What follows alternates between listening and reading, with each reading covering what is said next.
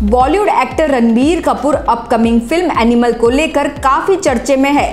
रणबीर भी एनिमल के प्रमोशन में काफ़ी समय से जुड़ गए हैं। रिसेंटली रणबीर एनिमल की एक्ट्रेस रश्मिका मंदना के साथ एक चैट शो में शामिल हुए, जहाँ रणबीर कपूर ने अपने नए टैटू के बारे में बताया और इसकी झलक भी दिखाई।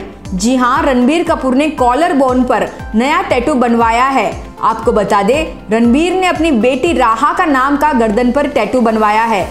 रणबीर कपूर का नया टैटू फ्लॉन्ट करता वीडियो सोशल मीडिया पर काफ़ी वायरल भी हो रहा है। बता दें, रणबीर कपूर और आलिया भट्ट साल 2022 के नवंबर में राहा के पेरेंट्स बने थे। वैसे ये टैटू रणबीर के लिए काफ़ी खास है, क्योंकि ये उनकी बेटी राहा के नाम का टैटू है। वर्क फ्रंट की बात करें तो रणबीर कपूर रिसेंटली बिज़ी है। उनकी आने वाली फ़िल्म एनिमल के प्रमोशन में, जिसके बाद वो नितेश तिवारी की फ़िल्म रामायण में नज़र आएँगे। लेकिन अब तक इसकी कोई ऑफिशियल अनाउंसमेंट नहीं हुई है। वैसे रणबीर कपूर के ये टैटू के लिए आप क्या कहेंगे? आपकी राय में ज़रूर लिखेगा हमारे कमेंट सेक्शन में। Also please do subscribe our channel Nation Now Mumbai से वेदिता प्रताप नेशन नाउ